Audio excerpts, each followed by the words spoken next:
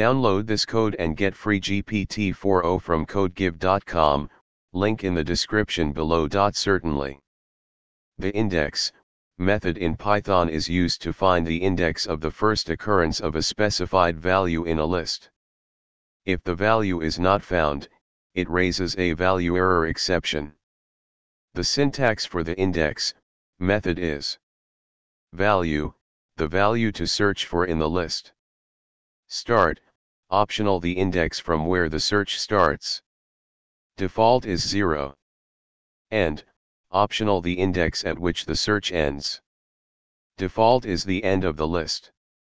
Here is an example code that demonstrates the usage of the index method along with handling the value error exception. In this code, the index of apple is found and printed. The index of mango is not found, so a value error exception is caught and value not found in the list is printed. Remember to handle exceptions when using the index method to prevent your program from crashing if the specified value is not found in the list.